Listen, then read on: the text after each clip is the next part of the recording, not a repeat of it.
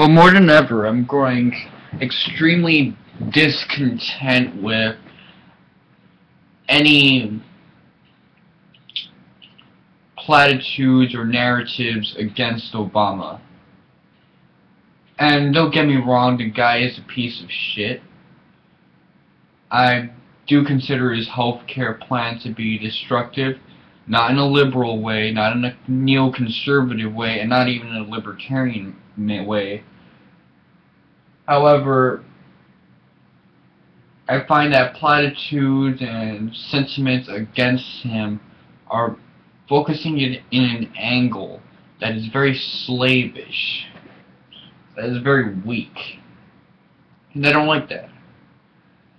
They make him out to be a tyrannical leader, some type of Sith Lord. I don't, I never got the original trilogy. I only saw the prequel trilogy to Star Wars, and that was from a young age, so it didn't stick to memories, my memories. I did like the Clone Wars, though. Those five-minute cartoons were actually pretty creative. But anyway, they present him as a dictator. They compare Obama to Hitler. I consider that an insult to Hitler because I actually think that Hitler's he went the wrong direction, but his principles are much better than what we have now. And keep in mind, he was at a time of approaching modernism. 30 years after his death, we had the 1970s. And as bad as 2010 is, we're only just reapproaching that level of degeneracy.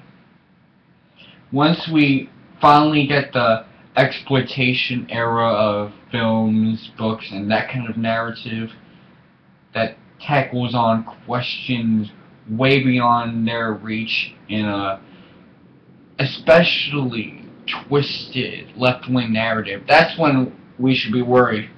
Because then the next reaction will have to be a superb one.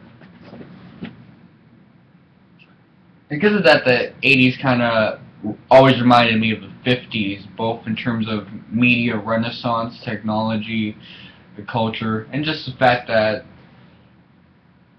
it was kind of an artificial break from that.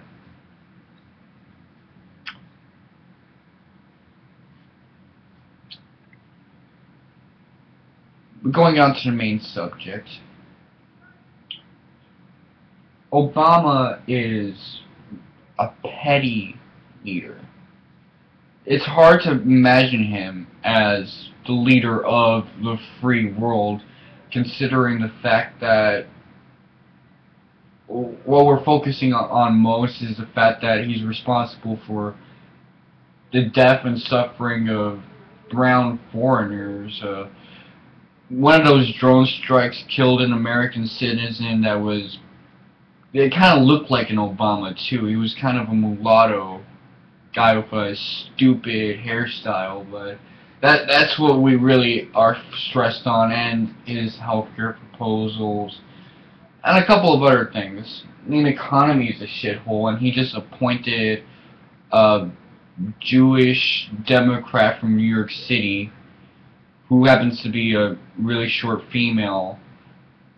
Not that that would matter per se as the leader of the Federal Reserve.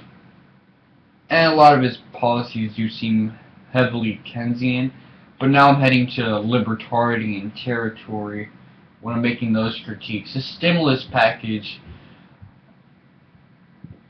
that was a failure. I mean, I'm definitely not getting any benefits from it. And this shutdown thing was absolutely ridiculous, but doesn't affect me. I don't have job problems because I don't have a job. And I ain't even bitter about that. Now, my folks might be bitter about that, but I don't know.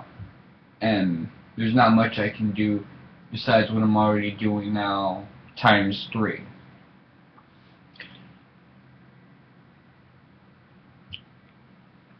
And that con honestly disturbs me most of all. Our biggest threats aren't these intimidating, massive people or these mythical representations of pure evil. Now, indirectly it might be, but for the most part, what we're dealing with happens to be petty. Think about the standard liberal. Who does he view as the symbol of evil? Hitler. And Hitler was the forefront of the Third Reich, the German Empire returning to get its revenge after the result of World War One. A very menacing symbol of Nazism.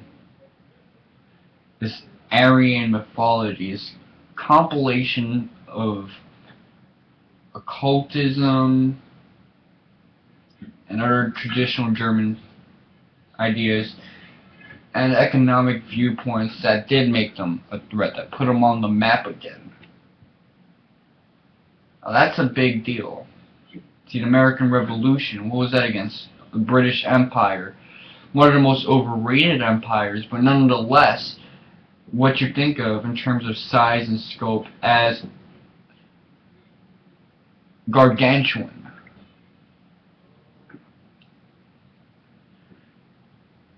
in leftist narrative, that's kind of why they're winning. Because they're defeating the strong all the time. That's why they can perceive something like the Tea Party as being intimidating when it's not. Because they've painted, they found the little strengths here and there, and they kill it. That's what they do. They kill anything that's good, anything that's powerful. They managed to deconstruct the Vatican and make it go from the longest lasting institution that has honestly been involved in a couple wars that have lasted a long time and they, they've turned this strong institution, this creator of a lot of West the West magnum opus, I guess. That is the West's magnum opus. That is a defining work in many ways.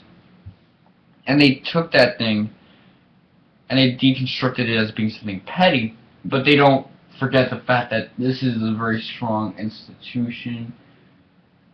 It's linked with a lot of scary stuff, right? You think of the Illuminati, you think of a lot of bad guys in fictional works are kind of dressed like Vatican leaders. I have a lot of those designs. You have a lot of Masonic designs too. Of course, because Masons took that shit over. But that's what you picture. You picture something that's intimidating, an intimidating past. left makes its opponents look way more interesting than they actually are. And part of it is because the left isn't interesting at all. So when Obama is too right-wing for us, that deeply disturbs me. And his sentiments are getting too weak and too sheepish for me to be able to handle it anymore it's time we grew some balls as a people. And if you disagree, then you're not the people. And I'm sorry to say that. No, I'm fucking not sorry to say that. Fuck you. Too many weaklings that aren't ready to defend something that's a part of them. That has defined the essence of your soul, whether or not they even know it. And maybe it's because it has no place in their soul, and therefore your soul is irrelevant. Is this dead weight or it's a complete detriment? And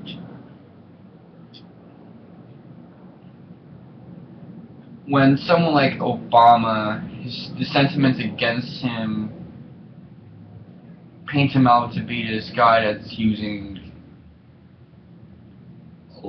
that's engaging in mass genocide and killing a bunch of brown people and things of this nature.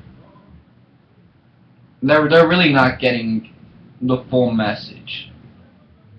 And the full message is that Obama is proof that even black people, even white people, even people that are both. They can all be good goys. They could be middlemen for conservative Jewish movements.